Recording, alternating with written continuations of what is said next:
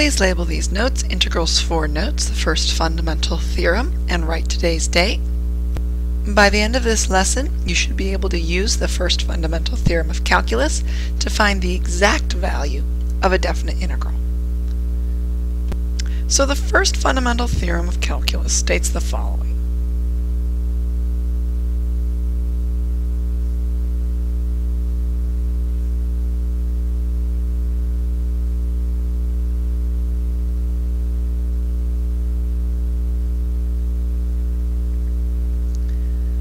If capital F of x, so this is uppercase,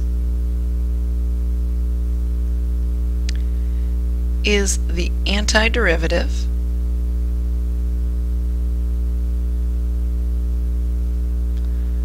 of f of x, this is lowercase, then the following is true.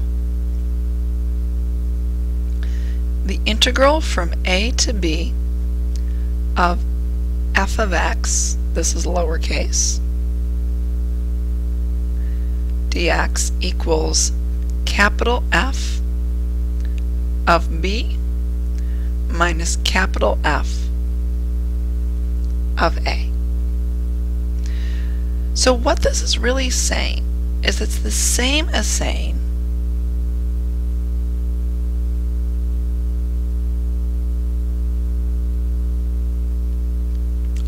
that the area under a curve, which is what we're really talking about over here,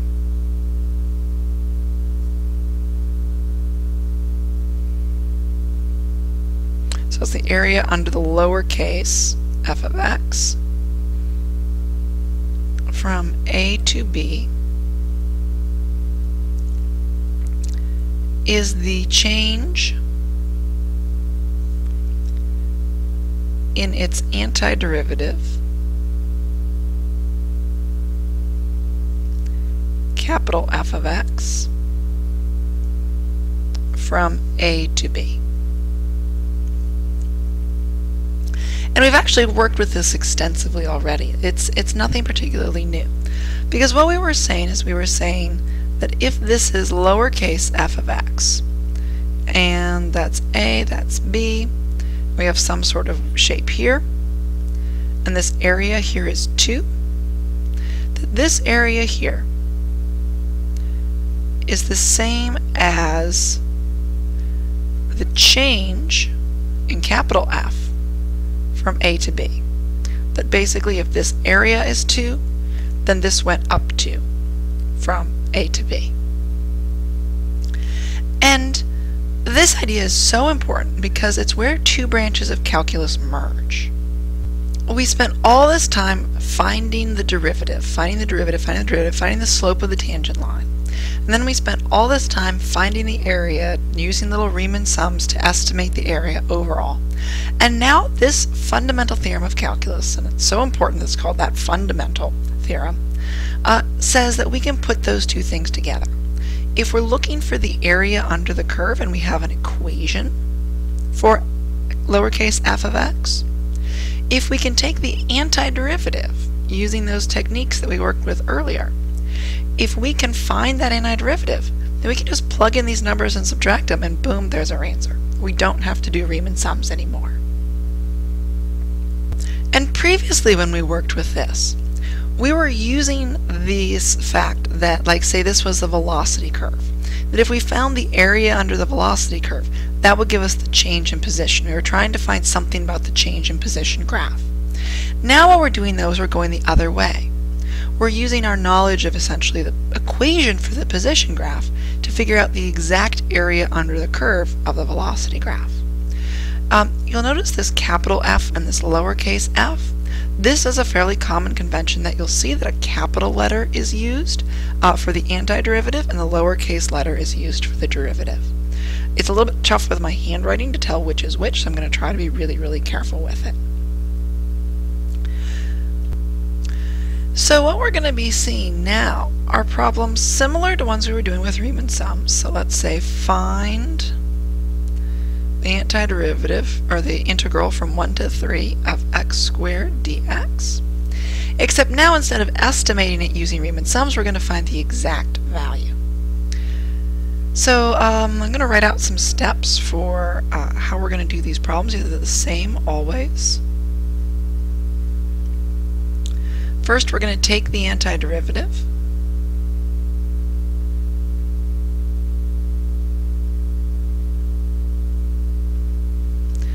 Then we're going to write our bounds. So the bounds are the numbers right here. Then we're going to substitute the bounds. Substitute.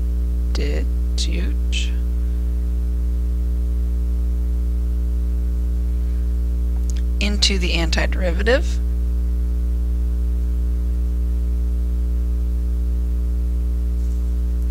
and subtract. We always do the upper minus the lower. Even if the upper one is actually smaller, we're still always going to do the upper one, whatever one's up here, minus whatever one's down here. And then the fourth thing we're going to do is check on the calculator.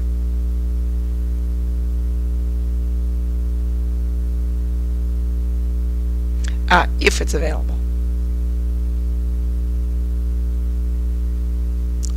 And the way that we're going to check on the calculator is we go to Math, 9, it says finite integral. And then we're going to have an expression that's going to look like this. It's going to be finite integral. And we're going to do the original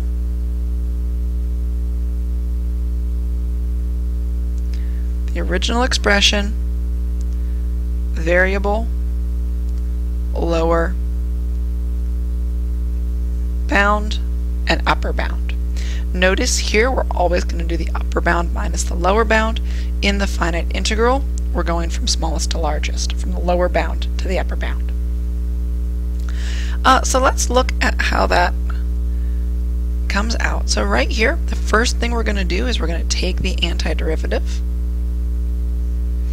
So the antiderivative of x squared, we add 1 to the exponent, divide by the new exponent. And one of the things that's very confusing is that when we do this, we aren't going to write a plus c. When we're doing an indefinite integral or an antiderivative, normally we have that plus c. If we're doing it with the numbers in it, though, when we do our subtraction in the middle, where the plus c's are going to subtract out, so we actually don't have to put it in originally. If you do, it's not wrong, it's just extra. So this is the antiderivative.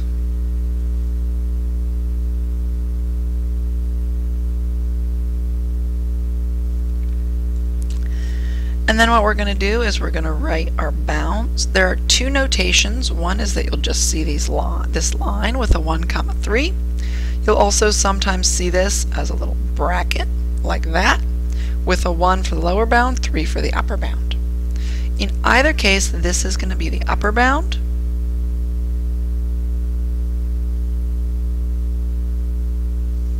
This is going to be the lower bound.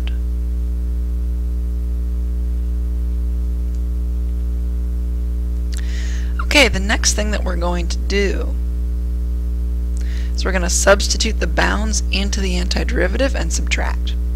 Make sure you have parentheses when you do this, especially if there's any addition or subtraction in the antiderivative. So we're going to substitute in 3 cubed over 3. Make sure your substitution's in parentheses. Subtract 1 cubed over 3. And all we have to do now is that uh, simplification. So 3 cubed is 27 over 3, minus 1 cubed is 1 over 3, giving us 26 thirds. Now what I'm going to do to check that, get out my calculator, math, and then if I go all the way down here to 9, that's finite integral. So I'm going to put in my original equation. So I can check this just by having this, if I cover up all the other work that I've done. So first thing I'm going to put in is that expression, x squared. Then my variable, which is x. Yeah, makes it a little darker. Then I'm going to put in my lower bound first, then the upper bound. Close parentheses. Right like that. Now if I turn that into a fraction, should end up exactly what I got before, which it does. So, good. We check that off. The remainder of this lecture is just showing you a bunch of different examples. It is really, really important for this to be able to take the antiderivative accurately. If you can't do that, you really, really have to go and brush up on it. So for our second problem, let's find the integral from negative 1 to 4 of x plus 5 dx. I want to show you this one because I want you to see how you need to work with addition really carefully when doing these problems. So the first thing that we're going to do in our steps is we're going to take the antiderivative, so that's x squared over 2 plus 5x. Again, this has to be very automatic. And we're going to put in our bounds from negative 1 to 4. This is why I like to use this notation with the brackets because it says this whole thing is our antiderivative. So then we substitute this into both of these. So whole thing, 4 squared over 2 plus 5 times 4. Then we're going to subtract this negative 1 substituted into the whole thing.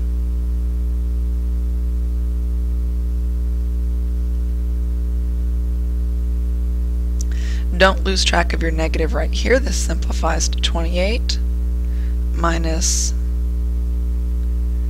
negative 4.5, which gives us 32.5. Again, with our calculator, math 9, work with the original expression,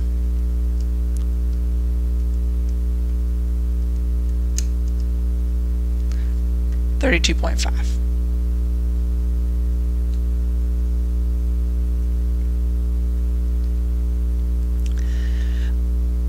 For ones like this, you really, really, really, really, really have to be able to take the antiderivative accurately.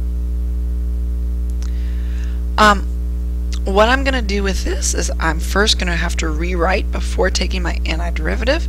Remember, you need to keep your rewrite steps distinct from your other steps. So I'm actually just going to do the rewrite steps over here, and then I'm going to do the antiderivative over here.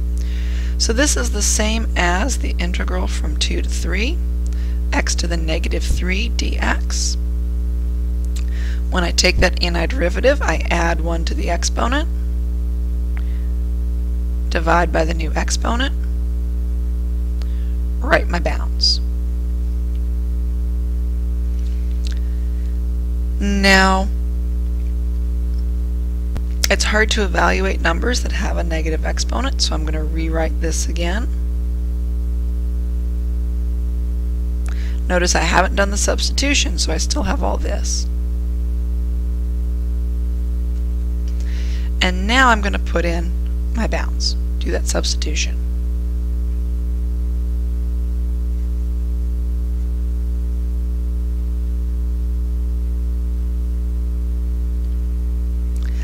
Simplify.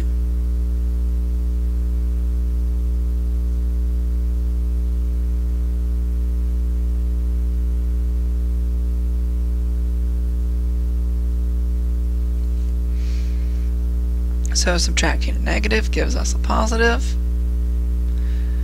I can find common denominators.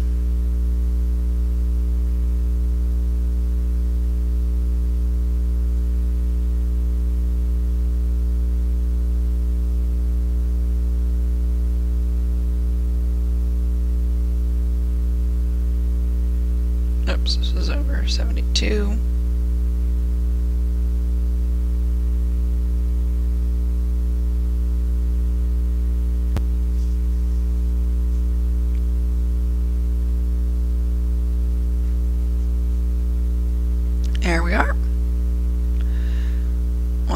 This back in.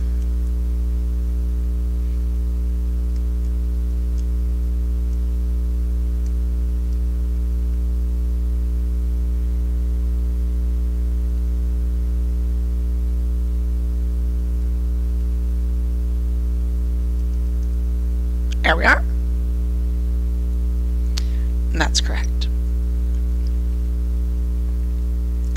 You should also be able to evaluate when you have things like e or trigonometric functions.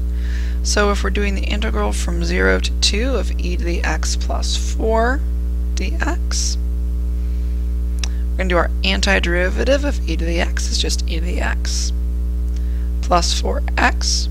We're going from 0 to 2. When we substitute this in, we have e squared plus 4 times 2. All of that minus e to the 0. We're putting in that 0. So we have e squared plus 8 minus anything to the 0 power is 1. 4 times 0 is 0. Make sure you distribute that negative, although the 0 goes away.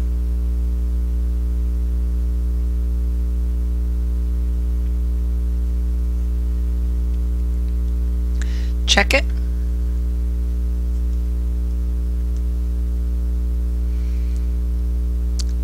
e to the x plus 4 comma x comma 0 comma 2 now we can't do math fraction because it's not a math fraction because it's not a fraction over here. But I can do putting this in to see what decimal I get. So e squared plus 7 same thing it's exactly what we should get probably the hardest ones are the trigonometric functions.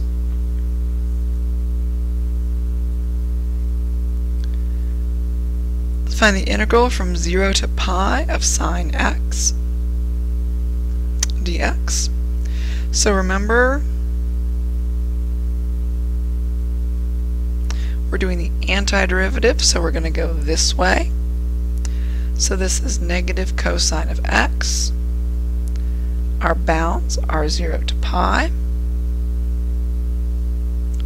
So we're going to do negative cosine of pi minus negative cosine of 0.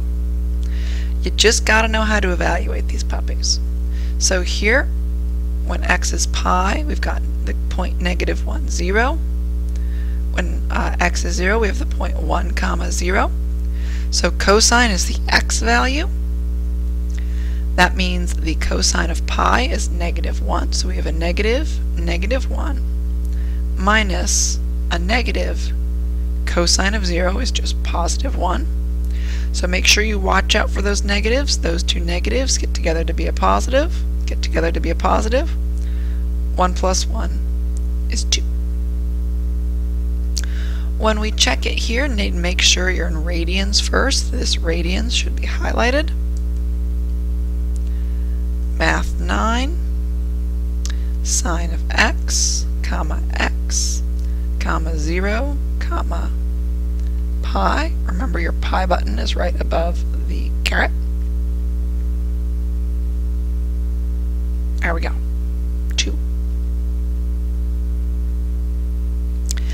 And our final one is just showing you how sometimes we have those rewrite steps uh, still in here. So let's do the integral from 1 to 2, x squared plus 1 over x dx.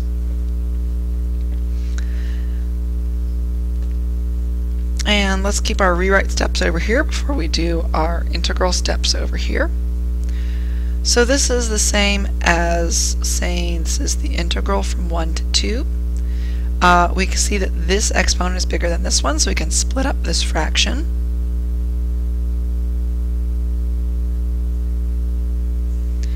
And if we simplify that, we have the integral from 1 to 2 of x plus 1 over x dx. If we take that antiderivative, we get x squared, add 1 to the exponent, divided by 2. Then you just have to remember the antiderivative of 1 over x is the natural log of x. We're going from 1 to 2. So 2 squared over 2 plus the natural log of 2 minus 1 squared over 2 plus the natural log of 1 So 2 squared is 4 divided by 2 is 2.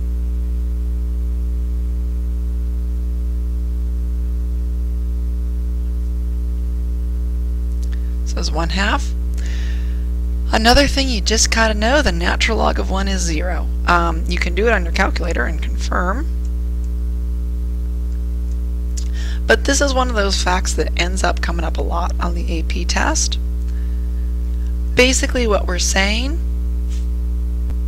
here is that e to the what power equals 1, Well, anything to the 0 power gives us 1. So the natural log of 1 is 0.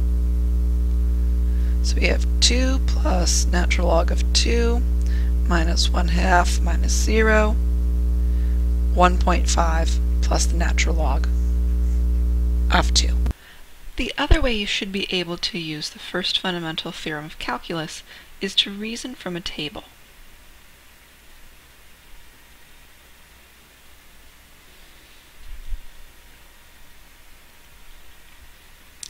Let's say for problem 7 that values of f of x and f prime of x are given in the table below.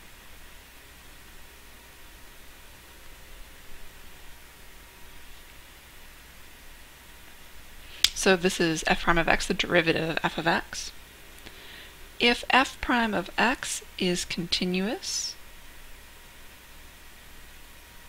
on the interval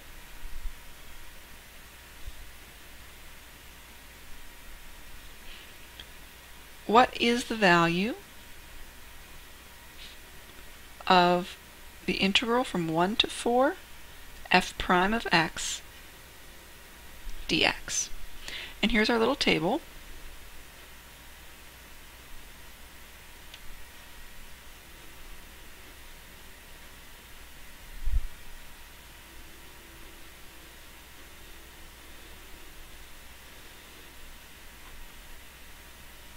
Here's f of x, negative 1, 3, 5, and 7, negative 8, negative 7, negative 6, negative 3, for f prime of x. So if we're looking at the integral from 1 to 4 of f prime of x dx, the really key thing to realize is that even though we don't have an equation for f uh, prime of x, we can still know to some extent what the antiderivative is. We know that the antiderivative is f of x.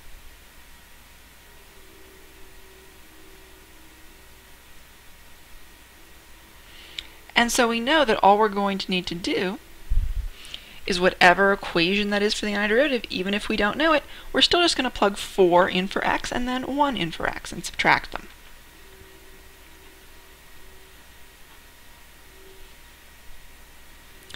Now it turns out that over in this table it's giving us the value for f of x when x equals 4, that's 7, and the value when x equals 1, that's negative 1.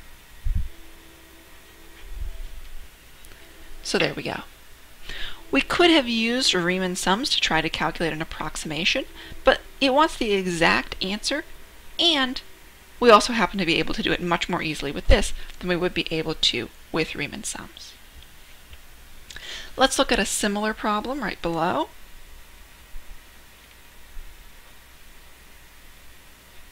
Values of f of x and g of x are given in the table below. If g of x is the antiderivative of f of x, and f of x is continuous,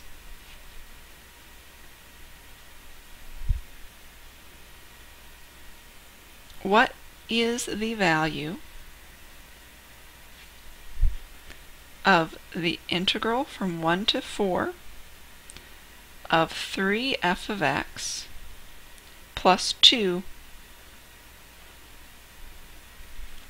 with respect to x. And here's the table.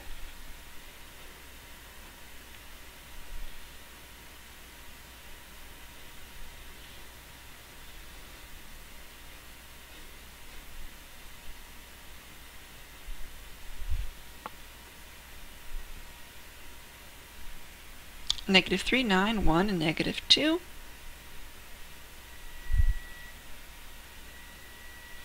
Two, four, seven, and three. Go ahead and pause the video, see if you can figure that one out on your own, and then I'll show you how it works. Okay, the key thing to realize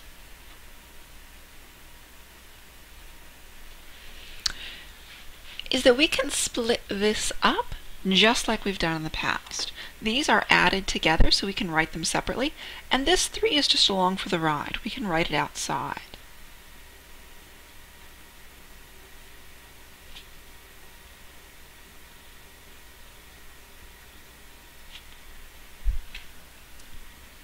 Now we're just doing what we were doing before. 3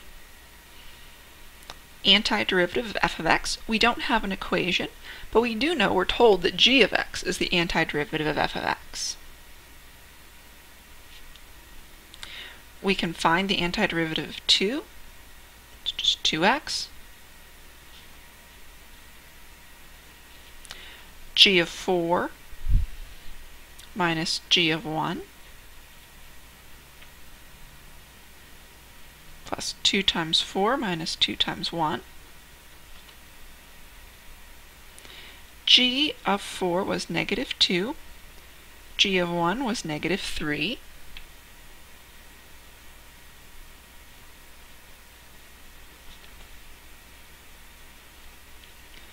Two minus negative three is negative two plus three, so that's one. 8 minus 2 is 6. 3 plus 6 would be 9. That concludes these notes.